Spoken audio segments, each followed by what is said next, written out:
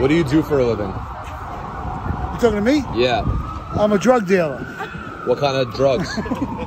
No, I'm retired. Street pharmacist? no, no, I'm retired. Can you give me Advil?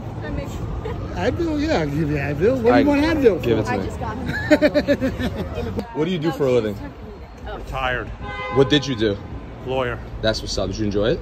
No, that's why I retired. Fair enough. Thanks. What do you do for a living? I'm an actor. Really? What have you been in? Yeah, everything. Name a movie. Superman. Superman. I haven't seen you in shit. Name a movie. Superman. You were in Superman. Yeah. Which one? 1943? Yeah, of course. Both of them.